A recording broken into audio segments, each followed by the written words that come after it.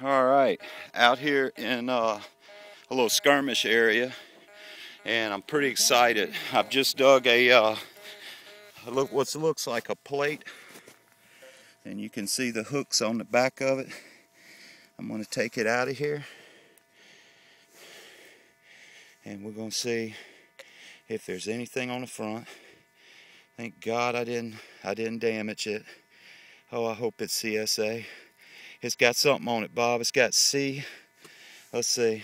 It might be USA. Yep, it's a US plate. Baby plate. Yep, a US baby plate. Oh my goodness.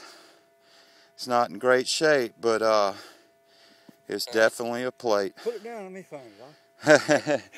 All right. Oh man, I tell you, this is exciting, man. I had no idea I was going to dig a plate today, and uh, it's just, uh, it's just, it's exciting. Oh my God, the U.S. is still on it, perfect.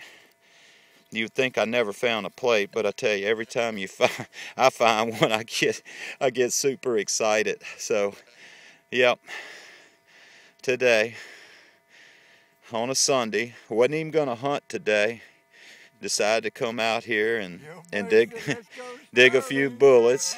My buddy taught me into coming out here, and uh, this is this is what you get. Uh, U.S. plate.